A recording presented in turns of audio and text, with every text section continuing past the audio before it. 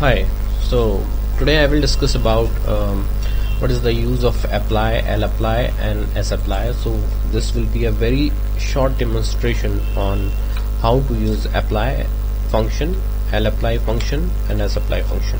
What these uh, return in the output. So this is what I am going to discuss. For that I am importing the library MASS uh, from which I am importing the package uh, and I am using the dataset birth wt you can use the read.csv function and read the data uh, of your own choice but I'm using this one so let's take let's have a look on the data frame. On the right hand side you can click here and you can check the data. So all these are numerical values and say if you want to do something like column wise or row wise. So you can use the function apply lapply or sapply but there are some minute differences in the output each of these return so suppose we want to find the mean values row wise say of the 85th index. The first row is having the index 85 second index is 86 third index is 87 these are row index and row wise say if you want to find the mean. It doesn't make sense or to find the mean of this row but say for example if you want to find out the mean of this row uh, how you will do it? So what you will do is you will use the function apply and use that function on this data frame. And for row wise you will write 1 and if you want to find the column wise mean you can uh, column wise mean you can do write 2 so for row you write 1 and for column you write 2 and the function what you want to do is mean. So you will for function you will write the mean. So let's check how you will write. So say for example you want to find the row wise mean. So what you will write? Apply name of the data frame one for row wise and the function name. The function is mean. So mean it will calculate the mean of all the rows. So one is for row. Right? So let's do a1 and the structure of a1 is like this. Let's check the structure. What is the output of this function? So we can see here the output of this function is numerical values from 1 to 189 so there are 189 rows. You, if you see total are 189 rows in the data frame. So for each row we are getting the mean. So for first row the mean is 273 second row 274 so if you calculate uh, the mean of first row how you will do is you will add all these elements and divide by the number of elements. So that will be equal to the number of columns so adding all these divided by the number of columns that will give the mean. Programmatically you will use this function apply and you can find the row wise mean. So it will give 189 rows uh, mean.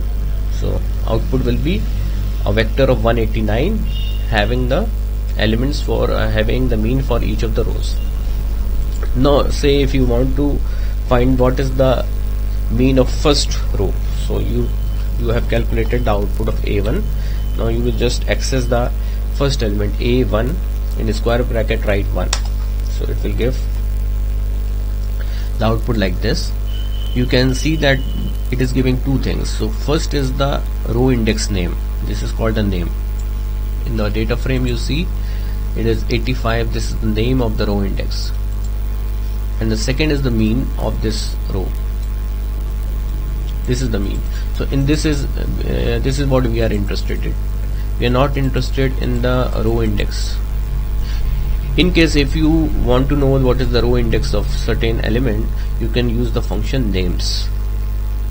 So say you want to find the name of first element you will write names of a1 and square bracket 1 say you want to find the first three elements so you write a1 1 2 3 you get three elements. With three names 85 86 87 these are row index. And for each row index you get the mean. So for 85th index row the mean is 272.7 for 86th index row you the mean is 274.5 for 87th index row the mean is 268.5 so these are the output of the apply function. So it has names and it has the values for each of the rows. So this is the mean function I have used. We can use the median function also. We can use the sum function. And we can also create our own function that is called anonymous function. That I will discuss in the next video for this I am just giving a simple demonstration of how to use an apply function on a data frame row wise or column wise. So if you want to do the same thing but you you want to do the column wise what you write is apply data frame comma 2 2 for column and then the same function mean. You want to see what is the output of a2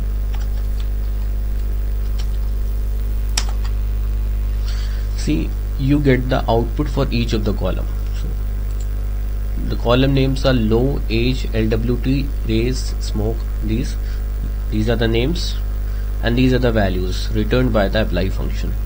These are the mean values. So for the column low the mean value is 3.121 times 10 to the power minus 1 so if you want to find the mean of this column mathematically if you want to find it by hand what you will do is you will add all these values and divide by the number of rows. For row wise what you do is you add all the values and divide by the number of columns. Grammatically what you will do is you will use the function apply data frame comma 2 for column and then mean. It will give the output like this. Say if you want to access the first three elements you will write a2 1 2 3 you will get the first three elements say if you just want to find the uh, you want to get the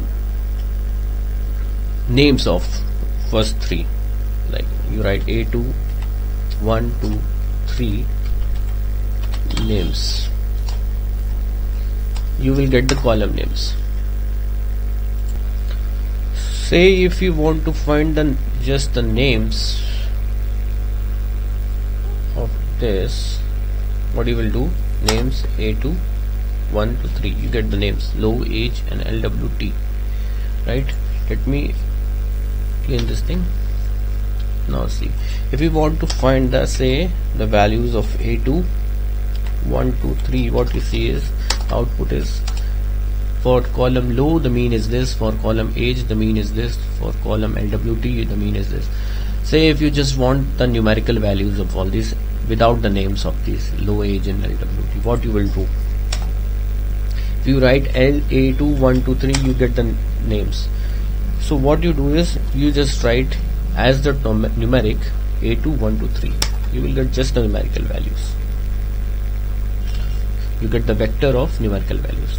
Now if you want to access the first element what you do is as dot numeric first want to access the first two you can write like this. So you can access anything in the output of the apply function like this. Right? You can pause the video and you maybe you can also try to do work in R simultaneously